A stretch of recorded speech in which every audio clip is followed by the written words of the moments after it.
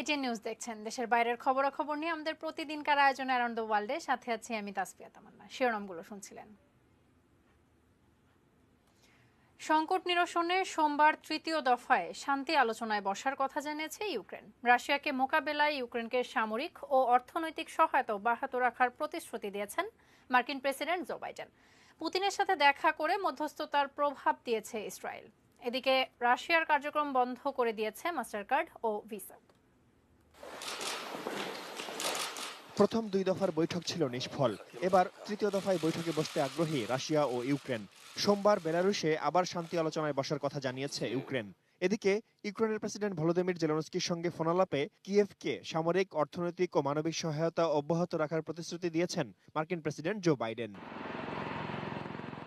ইউক্রেনে সোভিয়েত যুগের বিমান সরবরাহ করতে পোল্যান্ডের সঙ্গে চুক্তিতে পৌঁছানোর চেষ্টা করছে যুক্তরাষ্ট্র। চুক্তির আওতায় মার্কিন এফ সিক্সটিন যুদ্ধবিমানের বিনিময়ে ইউক্রেনকে সোভিয়েত যুগের বিমান সরবরাহের জন্য পোল্যান্ডকে প্রস্তাব দেওয়া হবে। চলমান সংকটের মধ্যেই মস্কোয় পুতিনের সঙ্গে বৈঠক করেছেন ইসরায়েলের প্রধানমন্ত্রী নাফতালি বেনেট। পরে ইউক্রেনের প্রেসিডেন্ট ভলোদিমির জেলেনস্কির সঙ্গে ফোনালাপ করেন তিনি। দুজনের সঙ্গে বৈঠকে মধ্যস্থতার প্রস্তাব দিয়েছে ইসরায়েল।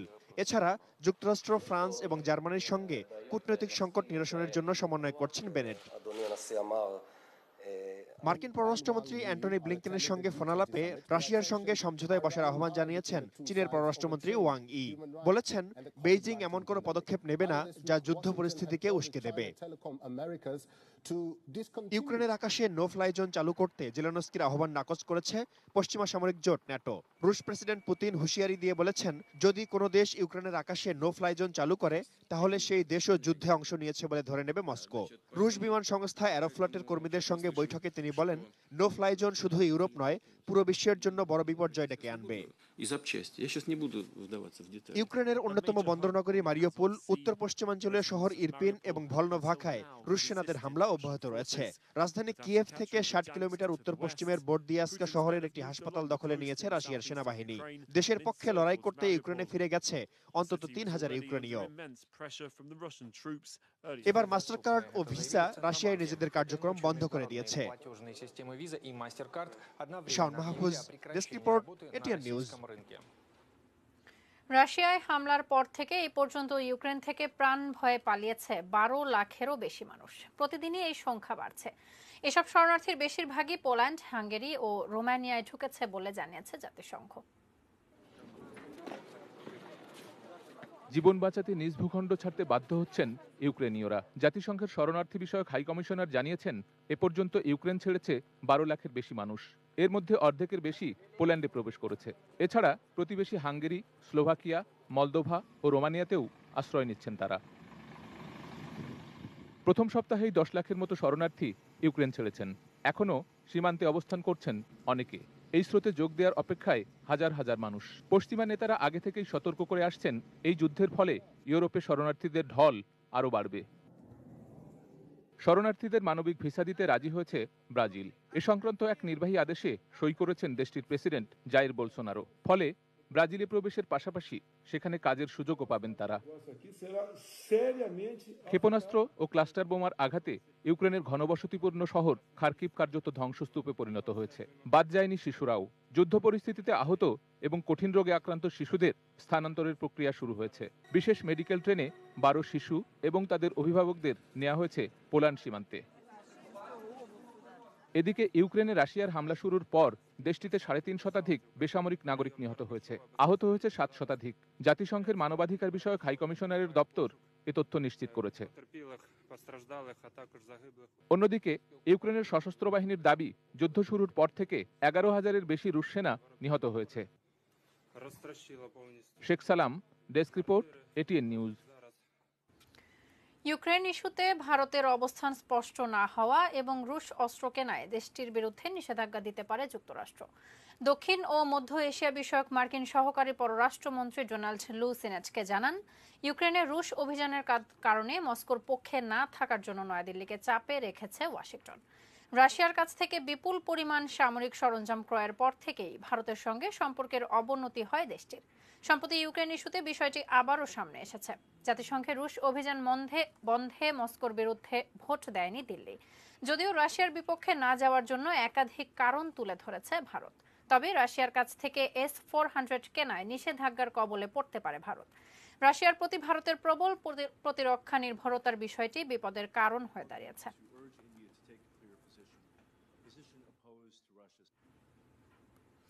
ইউক্রেন রাশিয়া যুদ্ধের কারণে বিশ্বের অর্থনীতিতে চরম প্রভাব পড়ছে বলে সতর্ক করেছে আন্তর্জাতিক মুদ্রা তহবিল আইএমএফ। এক বিবৃতিতে সংস্থাটি বলছে, পরিস্থিতি খুব পরিবর্তনশীল। শেষ পর্যন্ত ফলাফল কি হবে তা নিয়েও অনিশ্চয়তা রয়েছে। তবে অর্থনীতির উপর এর যে প্রভাব পড়তে যাচ্ছে তা হবে খুবই মারাত্মক। যুদ্ধ যত বাড়বে, অর্থনৈতিক ক্ষতি তত ভয়াবহ হবে। বর্তমানে মূল্যস্ফীতির পাশাপাশি জ্বালানি ও নিত্যপণ্যের দাম বেড়ে চলেছে। রাশিয়ার বিরুদ্ধে যেসব অর্থনৈতিক নিষেধাজ্ঞা আরোপ করা হয়েছে, সেগুলোর বড় ধরনের পরিণতি রয়েছে।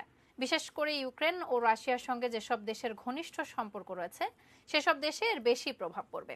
ইউক্রেনে যে একশো চল্লিশ কোটি ডলার সহায়তার জন্য অনুরোধ করেছে, সেই বিষয়ে সিদ্ধান্ত নিতে আইএমএফ সামনের সপ্তাহে আবারও জরুরি বৈঠকে বসবে।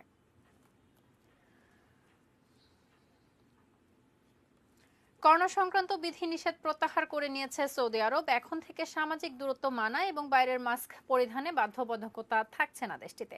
দেশটির প্রধান দুই পবিত্র মসজিদ মক্কা ও মদিনার পাশাপাশি অন্যান্য মসজিদেও সামাজিক দূরত্ব মেনে চলতে হবে না। খোলা জায়গায় মাস্ক পরার বাধ্যবাধকতা তুলে নেওয়া হলেও বাড়ির ভেতরে মাস্ক পরা আবশ্যক।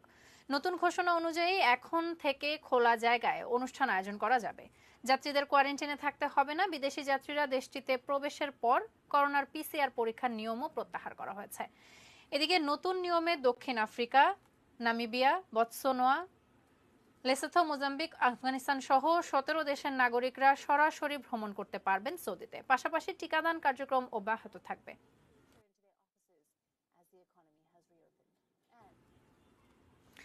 বিশ্বে করোনায় একদিনে নতুন করে পাঁচ হাজার ছশো চল্লিশ জনের মৃত্যু হয়েছে। আক্রান্ত হয়েছেন তেরো লাখ একাত্তর হাজারের বেশি মানুষ। মোট সংক্রমণ চুয়াল্লিশ কোটি একান্ন লাখ ছাড়িয়ে গেছে। মৃতের সংখ্যা ষাট লাখের বেশি। যুক্তরাষ্ট্রে গত চব্বিশ ঘন্টায় তিনশো আটাশ জন সহ নয় লাখ তিরাশি হাজার মানুষের মৃত্যু হয়েছে। ভারতে একশো পঞ্চান্ন জনের মৃত্যু ও সাড়ে পাঁচ হাজার আক্রান্ত হয়েছেন।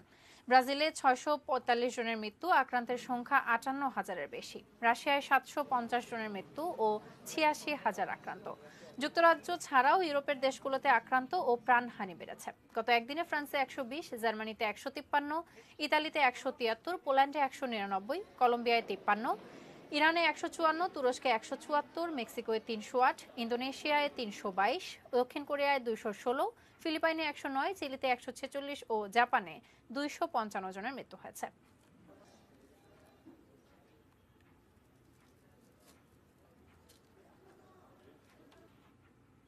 অ্যারাউন্ড দ্য ওয়ার্ল্ডের সময় হলো একটি বিরতি নেয়ার ফিরে এসে আরও যা থাকছে।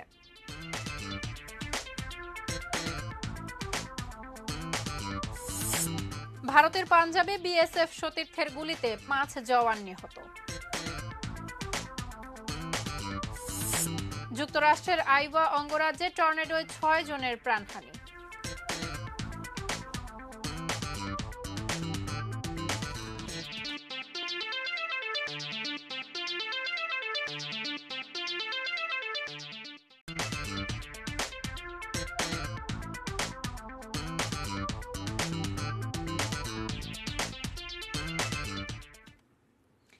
বিরতির পর আবারও স্বাগত অ্যারাউন্ড দ্য ওয়ার্ল্ডে। আমাদের সাথে থাকার জন্য ধন্যবাদ। সতীর্থদের সঙ্গে কথা কাটাকাটির এক পর্যায়ে গুলি চালিয়ে চার জওয়ানকে হত্যা করলেন এক বিএসএফ কনস্টেবল। রোববার সকালে এই ঘটনা ঘটেছে পাঞ্জাবের অমৃতসরের খাসা গ্রামে। ওই ঘটনায় আহত হয়েছেন আরও কয়েকজন। তাদের মধ্যে আশঙ্কাজনক অবস্থায় রয়েছেন একজন। আক্রমণকারী বিএসএফ কনস্টেবলও নিহত হয়েছেন। বিএসএফ জানিয়েছে, অমৃতসরের খাসা গ্রামে বিএসএফ এর একশো চুয়াল্লিশ নম্বর ব্যাটালিয়নের মেসে সাতেপ্পা এসকে নামে বিএসএফ এর এক কনস্টেবল। আচমকা সতীর্থদের নিশানা করে এলো পাথারি গুলি চালান। তার জেরেই হতাহত হন কয়েক জওয়ান। আহত জওয়ানদের স্থানীয় গুরু নানক দেব হাসপাতালে ভর্তি করানো হয়, তবে চার জওয়ানের মৃত্যু হয়েছে। কি কারণে ওই কনস্টেবল গুলি চালিয়েছে তা খতিয়ে দেখা হচ্ছে।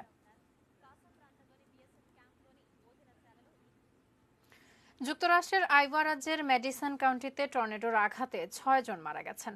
এর মধ্যে চারজন প্রাপ্তবয়স্ক এবং দুজন শিশু রয়েছে। কাউন্টির জরুরি ব্যবস্থাপনা পরিচালক জানেস আয়লা এক প্রেস ব্রিফিংয়ে বলেছেন, টর্নেডোয় আরও চারজন আহত হয়েছে। এছাড়া বাড়িঘর ও সম্পদের ব্যাপক ক্ষতি হয়েছে। দীর্ঘ সময়ের মধ্যে এটি ছিল ভয়াবহ ঝড় ঝড়, এর প্রভাব থাকবে বহু বছর। জাতীয় আবহাওয়া সার্ভিস বলছে, ঝড়টির মধ্য আইবা ছেড়ে পূর্ব দিকে এগিয়ে যাচ্ছে। রোববার তাদের সার্ভে টিম ক্ষয়ক্ষতি নিরূপণে সবকিছু খতিয়ে দেখবে। এদিকে উদ্ধার তৎপরতা চলছে বলে জানান আয়লা। আইভা গভর্নর টিম র্যান্ডান্স ম্যারিসন বলেছেন, কাউন্টিতে দুর্যোগ অবস্থা ঘোষণা করেছে।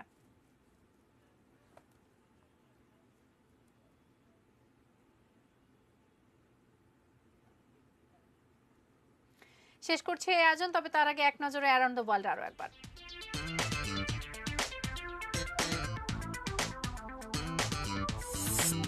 কাল আবার বৈঠক, মধ্যস্থতার প্রস্তাব ইসরায়েলের। ইউক্রেনকে সহায়তা দিয়ে যাবে যুক্তরাষ্ট্র। ইউক্রেনে মানবেতর পরিস্থিতি, কয়েকশো মানুষ নিহত, দেশ ছেড়েছে বারো লক্ষাধিক। মার্কিন নিষেধাজ্ঞার হুমকিতে ভারত, অর্থনীতিতে মারাত্মক প্রভাব পড়ছে আইএমএফ ভারতের পাঞ্জাবে বিএসএফ সতীর্থের গুলিতে পাঁচ জওয়ান নিহত। এবং যুক্তরাষ্ট্রের আইওয়া অঙ্গরাজ্যে টর্নেডোয় ছয় জনের প্রাণহানি